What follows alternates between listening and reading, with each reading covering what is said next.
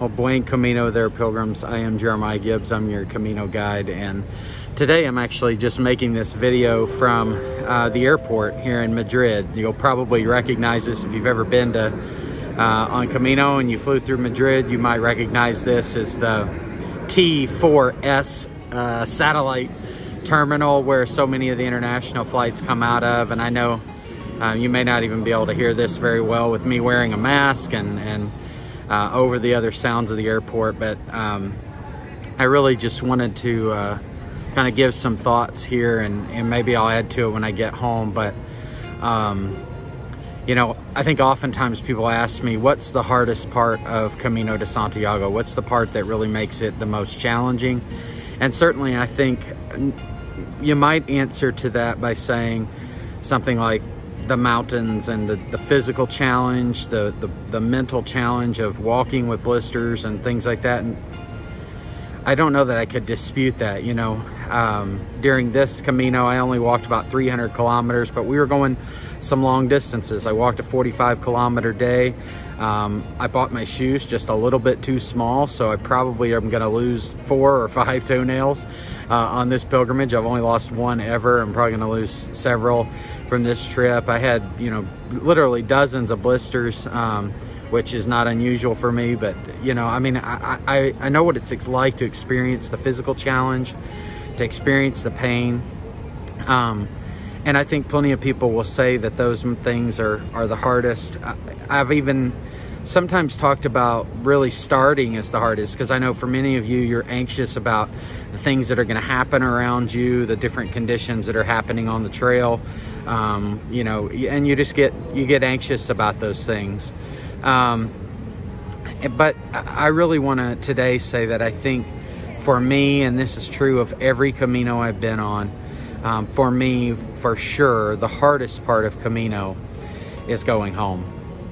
Um, I remember back to my very first Camino, and I remember um, sitting on an airplane with 15 of my students. Well, this is really my second Camino. Was the first one was was with my wife, and it was very short. But my second Camino, um, my first one with students, I remember being on the airplane and just crying for for hours, quite literally hours on the way home, thinking about um, the relationships that have formed and the ones that will never be the same again because we'll never be on the way in that in that way again. Um, and you know, I, I really have felt the same way about this pilgrimage. I think about the the great friends that uh, I've been able to make, the connections that I've been able to make um, people that I really, uh, I hope that I'll get to stay in touch with for a long time. But the reality is, um, you know, maybe it won't happen with most of them even. And maybe one or two that you that you really connect with, that you stay in touch with longer. But for so many of us, we're not going to be able to maintain these Camino friendships over the long term.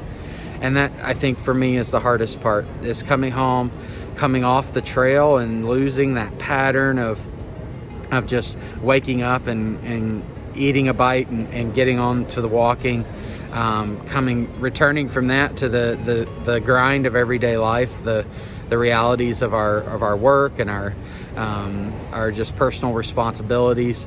Um, but then to, to walk away from these relationships that have meant so much to us while we're on the trail and to now um, uh, return to, to our normal life and, and, and maybe for many of those people never see them again um, and, and maybe for a few of them only see them rarely. So for me, definitely the hardest part has been uh, lots of sadness as I've gotten off the trail. Uh, I was actually said goodbye to my friends, my Camino friends, um, a couple days ago. Um, and uh, and now getting ready to uh, to board a plane in just a few minutes, and uh, and for sure I can say that that this is the hardest part of a pretty challenging Camino.